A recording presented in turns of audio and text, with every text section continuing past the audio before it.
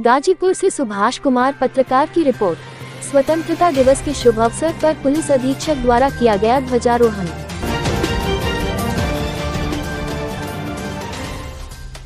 गाजीपुर पचहत्तरवे स्वतंत्रता दिवस के शुभ अवसर पर पुलिस अधीक्षक गाजीपुर श्री रोहन प्रमोद बोत्रे द्वारा पुलिस लाइन में ध्वजारोहण के उपरांत सभी अधिकारियों, कर्मचारियों को सत्यनिष्ठा पूर्वक अपने दायित्वों व कर्तव्यों के निर्वहन हेतु प्रेरित किया गया तथा महोदय ने अपने वक्तव्य में कहा कि पुलिस बल एक अनुशासित बल है जिसके कंधों पर बहुत सारी जिम्मेदारियाँ होती है।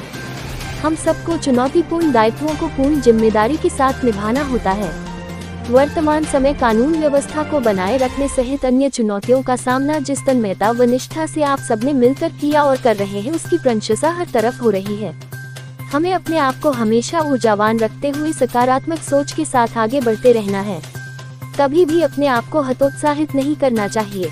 कल और आज कुछ पुलिस अधिकारियों एवं कर्मचारियों को प्रशस्ति पत्र सहित विभिन्न पुरस्कारों से पुरस्कृत किया गया। उन सभी को बधाई, परंतु ऐसा नहीं है कि जो पुरस्कृत नहीं किए जा सके, वो अच्छा काम नहीं कर रहे हैं। हम सब मिलकर एक टीम भावना से कार्य कर रहे हैं और उसका परिणाम भी सबके सामने स्पष्ट रूप से दिख रहा है। प्रत्येक पुलिस अधिकारी पूरे पुलिस बल का प्रतिनिधित्व करता है। उसके द्वारा किया गया किसी भी प्रकार का सराहनीय कार्य व व्यवहार उसके व्यक्तिगत मान सम्मान को बढ़ाता ही है। साथ में पुलिस बल की गौरव को भी बढ़ाता है। उन्होंने कहा कि हम सब सौभाग्यशाली हैं कि उस जगह हमें सेवा करने का दायित्व मिला है जो धरती वीर शहीद जवानों की गाथाओं से भरी पड़ी है। आज सभी शपथ ले कि अपने दायित्वों व कर्तव्यों का निर्वहन पूर्ण निष्ठा पूर्वक एवं ईमानदारी से करेंगे। सराहनीय कार्य करने वाले पुलिस अधिकारी कर्मचारीगण को प्रशस्ति पत्र देकर सम्मानित किया गया एवं उपस्थित समस्त अधिकारी कर्मचारीगण को मिष्ठान वितरित किया गया। पुलिस अधीक्षक गाजीपुर द्वारा पुलिस परिवार के प्रत्येक सदस्यों के साथ ही समस्त जनपद व देशवासियों को स्वतंत्रता दिवस की ढेर सारी शुभकामनाएँ व बधाई दी गई।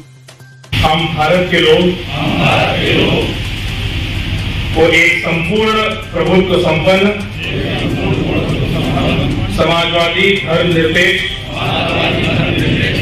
लोकतंत्रात्मक गणराज्य बनाने के लिए तथा उसके समस्त नागरिकों को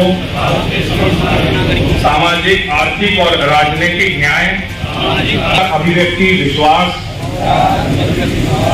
धर्म और उपासना की स्वतंत्रता, प्रतिष्ठा और अवसर की समानता प्राप्त करने के लिए और राष्ट्र की एकता गरिमा और राष्ट्र की एकता।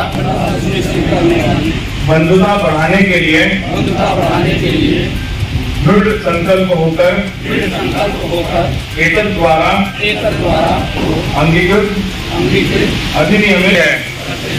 जय हिंद।